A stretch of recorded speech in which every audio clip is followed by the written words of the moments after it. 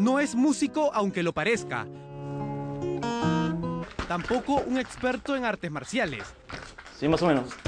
Gerardo Guidobro Sigismondi concentró todo su talento y destreza en la natación y hoy a sus 14 años ya es triple campeón sudamericano, con igual número de récords batidos. Yo decía, vas a voy a ganar más de dos de oro y terminé con tres de oro. ¿Tú te propusiste algo antes de comenzar? Yo voy a ganar tales medallas. Mm, sí, pero no lo cumplí. Prometí cinco medallas y perdí, perdí una prueba de que quedé cuarto por ocho centésimas, pero mi última esperanza era en las postas y las postas no es algo que depende solo de mí. Y estas tres son las de oro. Estas son las del sudamericano que acaba de terminar. Claro, sí, estas son las tres de oro que gané. Hace casi dos décadas que ningún peruano lograba algo similar en esta disciplina. Orgullo no solo para el deporte nacional, primero lo es para su familia. La mamá fue, fue Fiorella, la cual vio las cualidades que tenía como nadador.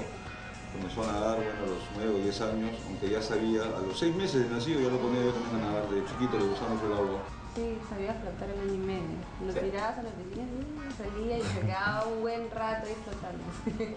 A su corta edad, este adolescente sabe muy bien el precio de ser campeón. Esto es un gran logro.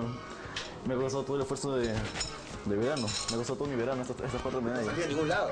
¿Ah? No, pues. Pero preste mucha atención. Gerardo no solo quiere ser un ave de paso, sus ambiciones van en serio.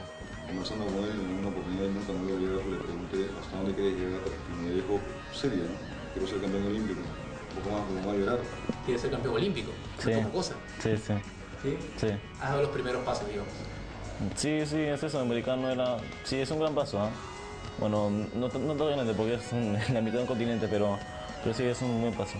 Falta la otra mitad porque no hay- Falta la mitad de panamericano. En fiestas y reuniones